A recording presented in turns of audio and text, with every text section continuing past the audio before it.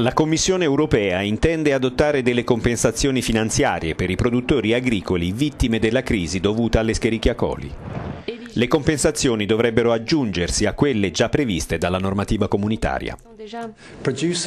Gli iscritti a organizzazioni di produttori agricoli beneficiano già dei rimborsi per il ritiro di verdure e legumi dal mercato. Un'ulteriore risorsa potrebbe venire da aiuti di Stato straordinari con un limite di 7.500 euro a produttore nell'arco di tre anni. There's a limit, a de minimis limit of 7.500 euros per farm over three years.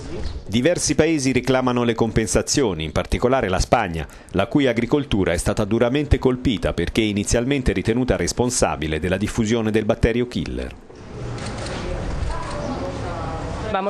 La Spagna chiede un indennizzo per compensare il danno economico. Chiediamo anche che la Commissione migliori i meccanismi di allarme sanitario nell'Unione.